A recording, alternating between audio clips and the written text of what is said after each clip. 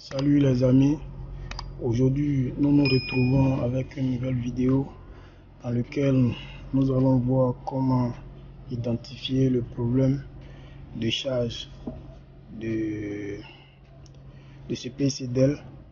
C'est un Core i3, comme vous pouvez le voir, latitude E72-70 qui ne charge pas. En fait, la charge ne passe pas nous allons voir ensemble comment identifier euh, ce problème et voir comment résoudre le problème si possible. Donc euh, pour ce faire, nous allons d'abord commencer par tester euh, le chargeur, être sûr que le chargeur produit du courant. comme c'est écrit sur le chargeur, c'est pas si vous pouvez voir la vidéo. Ici, nous avons au voltage 19,5 volts. Je ne sais pas si, la caméra peut vous montrer. Tout compte fait, c'est pas grave. Nous allons voir ensemble comment tester ce chargeur tout à l'heure et voir si nous pouvons obtenir la valeur qui demande donc là je sais pas si vous pouvez voir. Voilà. Là je teste le chargeur en direct. Et là ça me donne 19 19,6 environ 19,6 parce que je me tiens. 19,6 donc on constate qu'au niveau du chargeur, on n'aura pas de problème. Le chargeur passe bien, mais la charge ne passe pas en fait.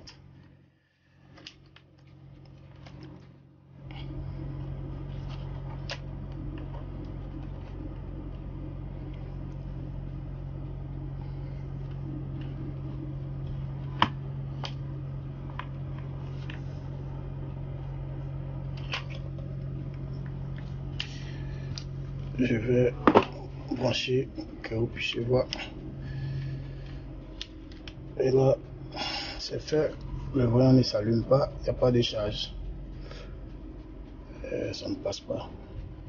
Donc ensemble nous allons voir tout à l'heure comment résoudre ce problème. Au fait identifier d'abord le problème et voir si possible si nous pouvons résoudre ce problème. Ok pour ce faire, nous allons avoir besoin de démonter l'ordinateur. Donc je vais mettre une pause, démonter euh, l'ordinateur puisque ça prend du temps. Je vais prendre le temps de démonter l'ordinateur. pour ceux qui, qui, ont ce genre de, euh, PC et qui veulent aussi connaître comment démonter pour une nouvelle fois, et vous pouvez mettre dans les, dans les commentaires pour que je puisse faire une vidéo spécialement pour pouvoir démonter cet ordinateur pour vous pour éviter de casser euh, des trucs. Mais aujourd'hui, nous n'avons pas fait, la vidéo n'est pas basée sur ça. Je vais d'abord démonter euh, l'ordinateur et ensemble nous allons voir comment détecter euh, le problème de charge. Donc je vais mettre une pause, prendre le temps de démonter.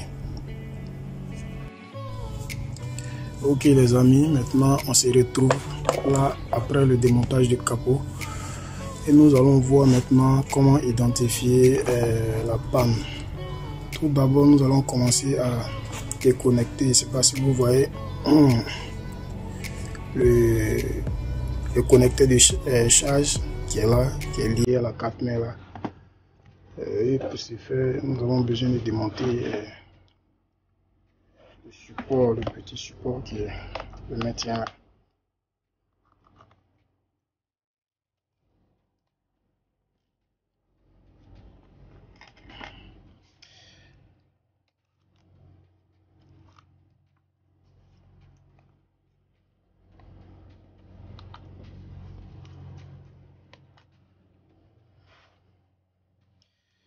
rassurer que si le problème ne vient pas de là, de ce connecteur nous serons obligés maintenant de vérifier sur la carte mais les autres composants qui peuvent provoquer ce problème. Mais généralement, les pannes viennent toujours de là. Donc, euh, nous allons revérifier à l'aide du multimètre. Voici, une continuité de la charge là jusqu'en là. Donc, euh, je vais vérifier mon chargeur, euh, mon chargeur, être sûr que le courant des le 19 les 19.6 que nous avions sont toujours là. Ok, 19.6. La charge est toujours là, le chargeur a du jus. Donc maintenant, nous allons procéder à vérifier ce connecteur, voir si il y a une continuité de, de là à là. Ok. Donc, euh, puisque les trous du connecteur sont trop petits, euh, je vais utiliser de l'étain fin pour pouvoir avoir accès au connecteur.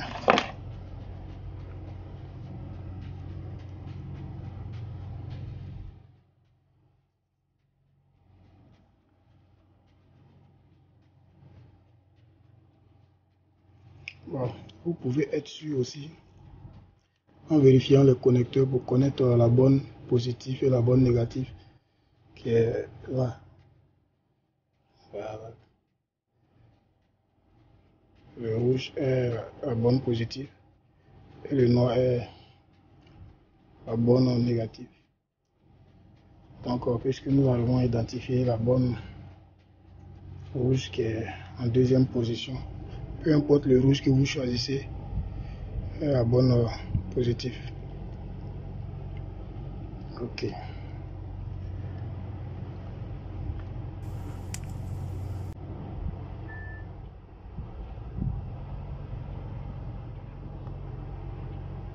Et le noir, nous allons identifier le noir qui est en dernière position là.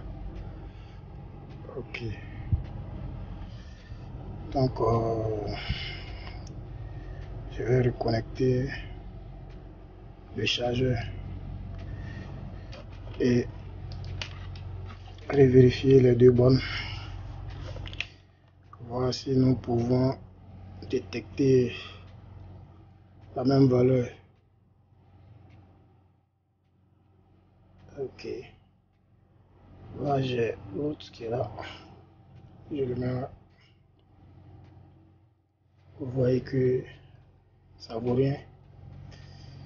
Ça, ça ne peut même pas atteindre 10 volts. En fait, nous avons 0,2 point 2.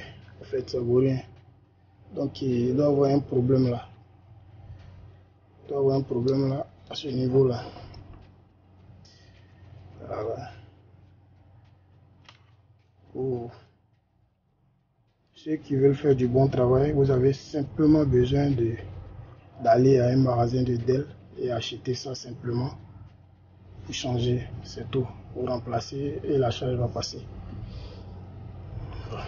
Pour nous qui aimons bricoler comme de la main, je le dis à tout moment, moi je vais trouver un vieux PC et récupérer cette tête là.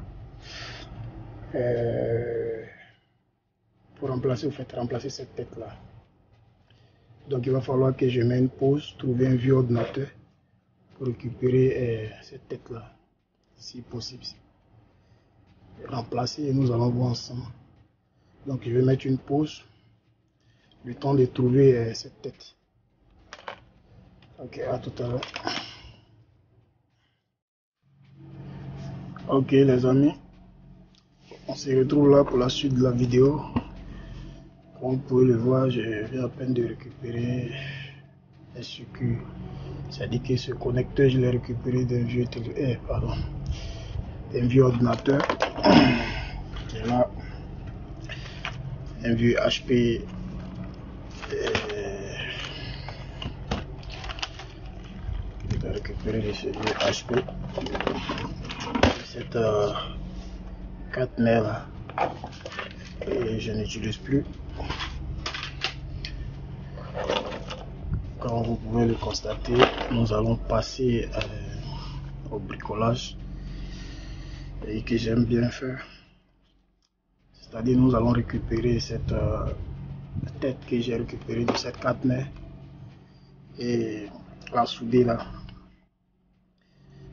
Et je répète pour ceux qui veulent euh, faire un travail peut-être propre, il y a des clients qui sont très compliqués. Vous pouvez directement aller acheter cette euh, acheter directement euh, cette tête là pour acheter le kit. Voilà. Mais moi j'aime beaucoup bricoler donc euh, je vais récupérer cette tête et la souder là on le voit ensemble tout à l'heure pour faire le travail. Ok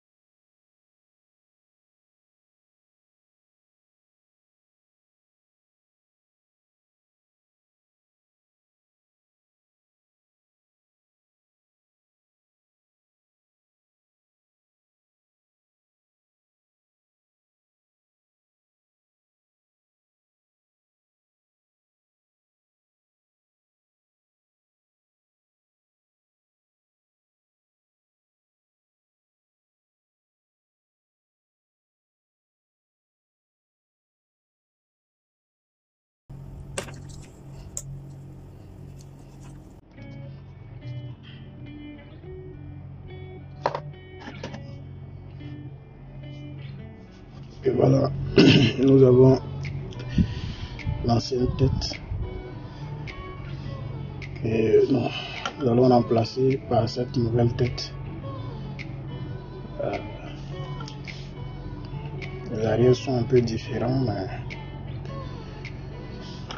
nous pouvons le faire.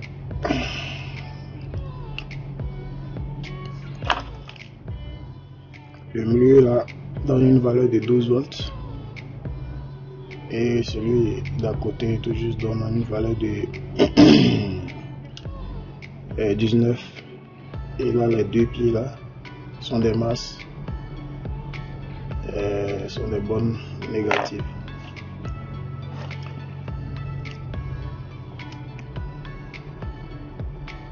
Donc euh, les bonnes négatives ont toujours été les deux fils noirs.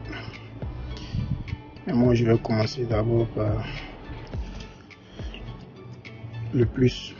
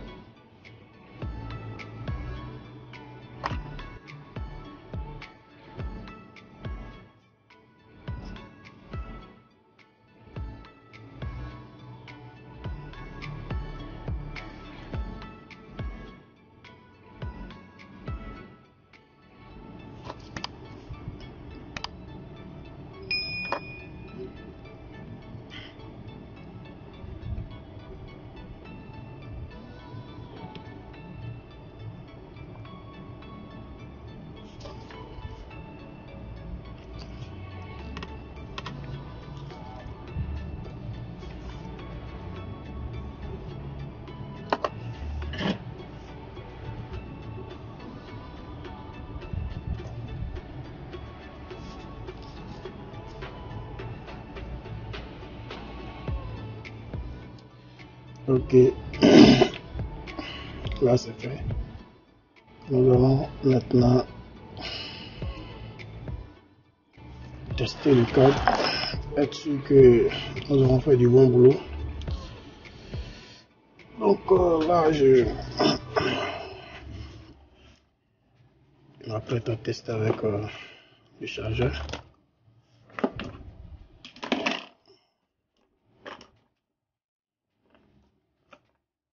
Même procédure.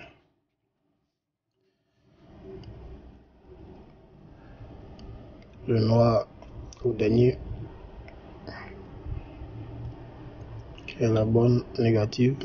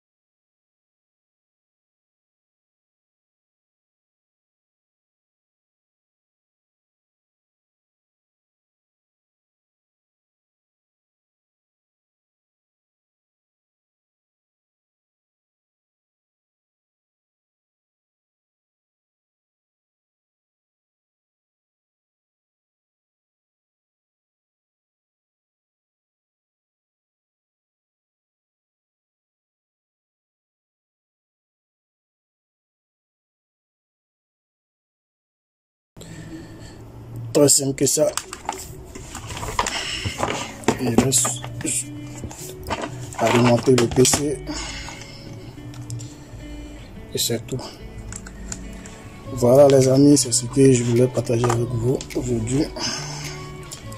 On se retrouve pour une nouvelle vidéo. Vous remercie. N'oubliez pas d'aimer et vous abonner aussi. Car ça m'aide beaucoup. Et ça m'encourage aussi.